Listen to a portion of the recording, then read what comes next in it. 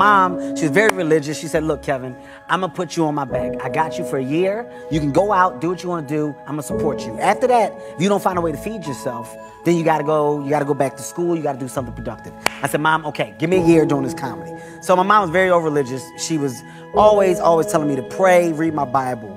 Um, I need rent money. It's come time for rent money. I'm like, Mom, you didn't give me rent this month. She's like, Well, did you read your Bible?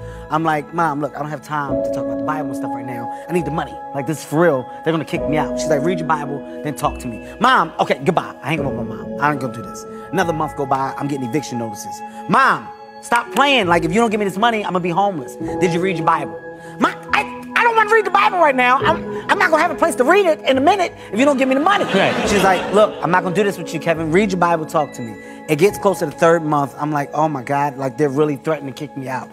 I finally open up my Bible. When I open it up, my mom put all of the checks for the rest of the year in the Bible. So I open it and all of my rent checks fall out. And I just sat there with the dumbest look on my face.